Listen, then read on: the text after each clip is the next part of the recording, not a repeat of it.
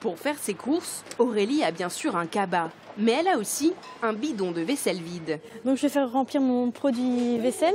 Oui. En quelques secondes, dans ce magasin bio de Quimper, son bidon est de nouveau rempli. J'ai dû éviter une bonne dizaine de récipients depuis que j'ai commencé à faire comme ça. Au rayon fromage, même chose, elle sort de son cabas sa boîte en plastique. Merci, ça sera tout, ça ira.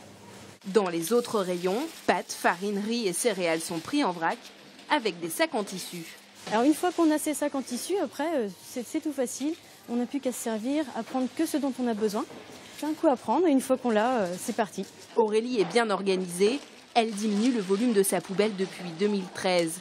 Résultat sur le tapis de la caisse, au moment de payer, aucun emballage.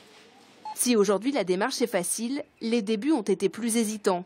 L'étape la plus importante a été franchie à la boucherie de son village quand elle est arrivée avec sa boîte tupperware. La première fois que je l'ai fait, euh, c'est vrai que j'ai un petit peu appréhendé, mais en fait, euh, voilà, c'était le premier pas à faire euh, pour continuer en fait la démarche zéro déchet. Aujourd'hui, son boucher a pris le pli et l'initiative d'Aurélie a été source d'inspiration pour lui et ses clients. Voilà.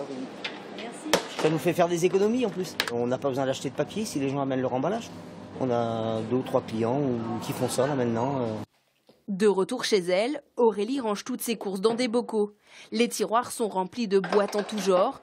Dans la cuisine, la chasse aux emballages est drastique et c'est la poubelle qui en pâtit. Chaque mois, Aurélie la pèse. En février, 3,30 kg pour le mois de février, donc pour une famille de 4 personnes.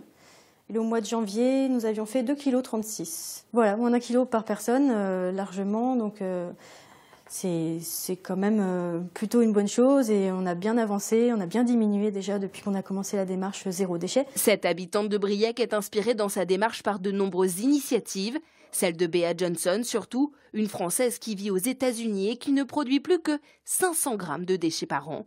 Les nouveaux défis d'Aurélie sont dans sa salle de bain, un déo, un stick à lèvres, un dentifrice ou encore un gel pour les cheveux, fait maison, le tout dans des boîtes recyclées bien sûr.